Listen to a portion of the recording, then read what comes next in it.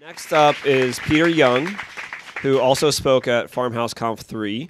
Um, who here was that? Who, who here was at that? Whew, it's been a long day. Okay. Um, how many of you like literally sat on the edge of your seat during that talk? Here you go. Um, that was a hell of a talk. So he, um, I'll just let you do it. It's fine. Peter Young. Thank you. Um, Shane, don't go anywhere because I got to work you into my intro. Um, uh, last time I opened up my talk, first of all, it's weird. Um, I don't know if Megan and I have been formally introduced. I just moved to Boulder last week too. Very weird. Um, so anyway, uh, la- uh, I opened my talk last time talking about this anecdote of meeting Bill Nye when I was like 13 years old, Bill Nye the Science Guy, and how he had told me uh, he was friends with my dad and we were hanging out, and he said, Peter, he said, I want you to remember something for as long as you live. And he looked at me and he said, Don't ever, ever, ever get a job. He said, It's not worth it. And I talked about how I've worked uh, less than six months of my adult life uh, since then. I'm very proud of this. Um, and um, follow up, what did Bill Nye say when you talked to him? You met Bill Nye and you told told him that he was responsible for an eco terrorist going to prison or something. How did that go? Yeah, so so Annika and I went to a filming of The Soup, and um, it was like their end of the year. Let's invite all our friends over, and Bill Nye was one of the random guests. And I was like, oh my god, who? You know, what are the odds? I've got to tell him Peter's story. And as we were like, he left before us, and as we're leaving, he was like, we got stuck in the elevator with him and his wife, and I was like, oh my gosh, thirty seconds. Um, there's this guy who you knew his dad in Seattle and you, you told him never get a job. And then he later turned into this like um, eco-terrorist FBI fugitive and then went to jail all because of you or something like that. And he was like that doesn't sound like advice I gave. I probably told him to own the distribution. I was like no no no you told him not to have a job. Oh, listen, my memory is very clear on this. Bill Nye told me to never work for another man again. any case, um, so I'm not going to get my whole talk again, but th- that was actually very central to my story. This sort of turning point where Bill Nye cornered me. Right. So. Um, my last talk, my talk last time was fundamentally about being a fugitive, which is kind of a metaphor for collapse. In that, I, when you become a fugitive, you flee from the FBI. You're forced to start from scratch. You're supposed to take on a new name, uh, leave all your old friends behind. You can't call your parents. You're starting completely from scratch, and that's what I had to do. I lived that way for eight years. Um, and this was because I was fleeing um, animal enterprise terrorism charges. This is an actual charge, and I was on the run for, like I said, eight years. For what we did in 1997 is we went to a series of fur farms. We cut fences. We opened the cages. We released those uh, mink into their native habitat. We did that six times. We were subsequently charged for those six fur farm raids uh, on behalf of the Animal Liberation Front, and I was looking at a maximum of 82 years in federal prison. So I soberly assessed the situation. I said, uh, I've got a lot of life left in me, and I'm going to fight for the life the government is trying to take away from me. So I went on the run. I was on the run for eight years. I was eventually caught in 2005 and sentenced to two years in prison. And that involved getting a new ID. I had I lived in abandoned houses. There was a, uh, a number of ways that being a fugitive defined my life for a very long time. And what was really cool about the last talk that I gave at Farmhouse Con- Conference Three was that I was um, told by lawyers very firmly to never ever talk about those years as a fugitive because there could be serious legal repercussions. And I eventually decided I'm going to talk about it anyway. And so it was kind of my coming out talk last time. It was really good to get that stuff off my chest. It was stuff I've never been able to talk about before. I was never even legally allowed to admit that I'd ever knowingly evaded the law. That in and of itself can be a crime. So um, that's what last time um, was for me. But uh, what I'm going to talk about right now, real quick, um, you have to ruthlessly time check me because I have a lot to talk about. So um, I. Uh, I talked about being a fugitive. What I didn't talk about is I've really been a fugitive three times in my life. I told you the first time. The second time was when I got out of prison. I was told that I could never talk about the years while I was a fugitive. So I was around nothing but people when they'd bring up, you know, where were you in 1998? I couldn't talk about it for legal reasons. So it was almost like being on the run all over again with a different for a different time frame. But what I'm going to talk about is the part I couldn't talk about in my last talk, which is sort of how I felt like uh, I become a fugitive for the third time in the years since I got out of prison. I got out of prison in 2007. Um, and it's it's another kind of fugitive status I've endured. It's another kind of clean break and starting new. And I'm talking about fleeing this sort of subcultural confines that I had been in for so many years, um, identified as sort of a cliche radical, which is something I never identified with. In a lot of ways, I was forced to conform to this. Um, it's really interesting if you get a lot of uh, social incentive for something like being in bands, how you can find reasons to be in bands for your entire life, well into your you know 40s and 50s and beyond. Or if you get known for something as trivial as being a dumpster diver, as I was for a long time, that you can find reasons to continue being a dumpster diver even long after those tactics, that lifestyle has, has stopped serving you.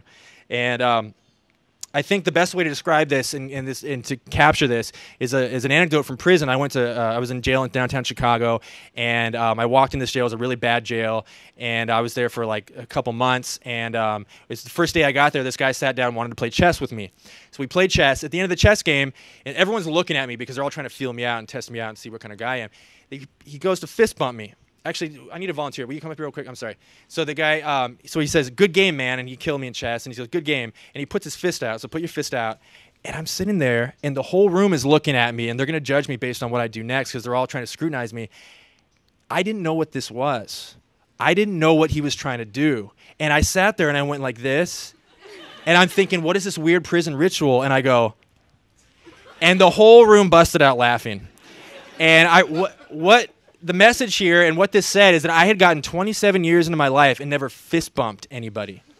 Now, um, I'm not saying that you should ever, a, a, goal should be to be around a lot of people that fist bump in a non ironic way, but um, what was really telling to, to when I look at the story is that I had, was so deep in my subcultural niche that I had never fist bumped in my life. I was 27 years old. I was so deep in the punk rock subculture that I didn't even know what, what was what that was and it's staggering to me to think about now. And so a lot of the years since, I feel like I've been trying to break away from that and diversify my life a little bit.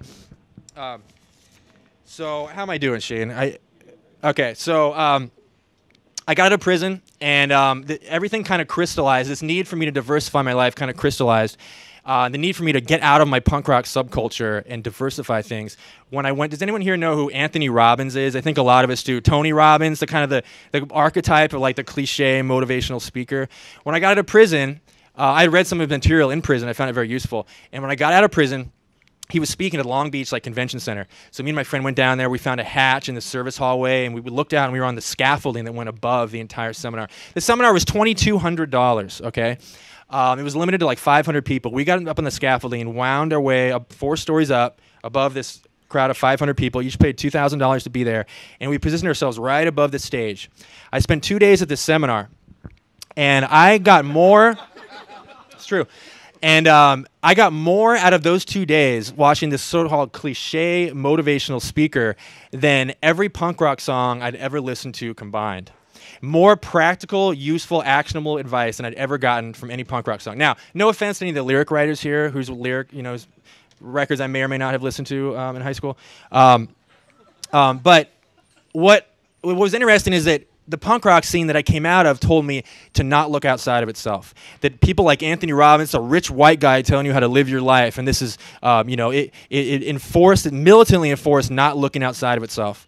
And I got so much value out of this Anthony Robbins speech, this so-called cliche motivational speaker, that um, that was a moment I identify as sort of my me making a break from my past, and that I needed to start looking outside of the punk rock zines and the punk rock lyrics and seeing what else was out there and exposing myself to new knowledge.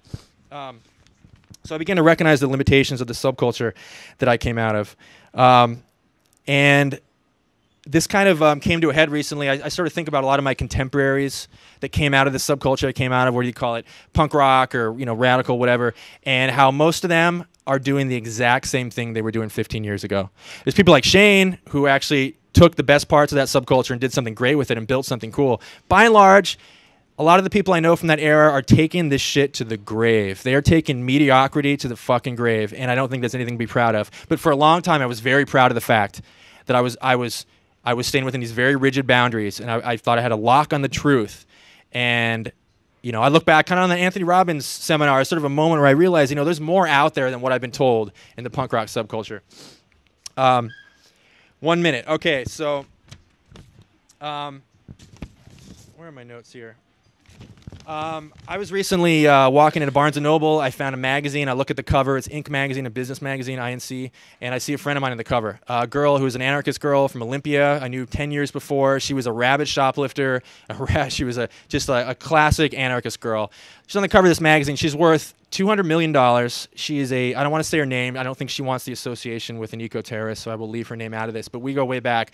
And we ended up talking on the phone recently. And I asked her, I said, Do you ever talk to any of those people uh, from back in the day? And she said, You know, I try. He said, but she said, but every single one of them is doing the exact same thing they were doing 15 years ago, and I, I, we don't have anything to talk about.